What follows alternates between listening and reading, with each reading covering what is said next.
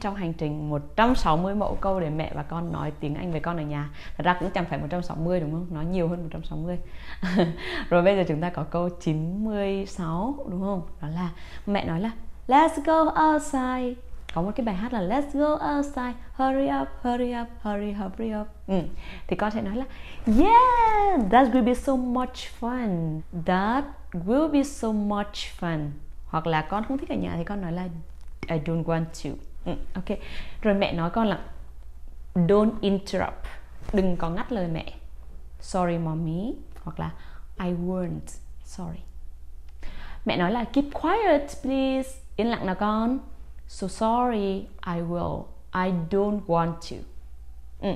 Hoặc là mẹ nói là You're so loud, you're too loud. Con nói to quá đó nha. Sorry mommy, okay, I will be quiet. Rồi, ok. Trong trường hợp mà mẹ muốn nói là Tự tin lên nào, đừng xấu hổ. Don't be shy. Thì con sẽ nói lại sao? Yes mommy. Hoặc là các con sẽ nói là You know, I don't like talking in front of so many people. I don't like talking in front of so many people. Rồi, câu tiếp theo chúng ta có là You're so sweet. Con thật là ngọt ngào. Thank you. Hoặc là You really think so? Thank you. Mẹ nghĩ thay vậy thật sao? Cảm ơn mẹ nhé. À, ờ, ok. Rồi, uh, khi mà con giúp đỡ mình cái gì đó thì mình nói là You are such a great helper. Con thật là một người giúp đỡ tuyệt vời đấy. Thank you, mommy. I really like helping other people hoặc là I really like helping you mommy ừ, ok đơn giản đúng không rồi chúng ta có cái câu tiếp theo đó là you are such a great reader con thật là một độc giả tuyệt vời đó. Thank you mommy. Just because I love reading. Just because I love reading. Ừ, ok. Rồi cái mẫu câu tiếp theo chúng ta có là be patient. Bình tĩnh nào con? Calm down. Yes mommy. Hoặc là I don't want to. I don't want to.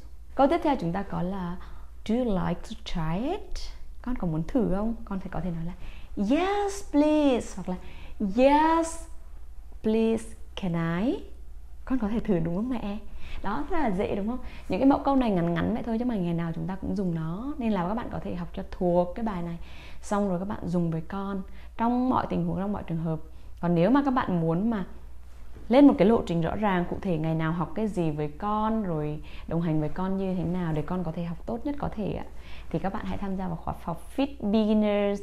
Đó là cái khóa học miễn phí hoàn toàn dành cho ba mẹ có con trong độ tuổi 0 đến 12 tuổi. Chưa giỏi tiếng Anh nhưng mà muốn song ngữ cùng con ngay tại nhà. Hẹn gặp lại các bạn ở chương trình đó nhé. Các bạn chỉ cần leave a comment. I will reach you.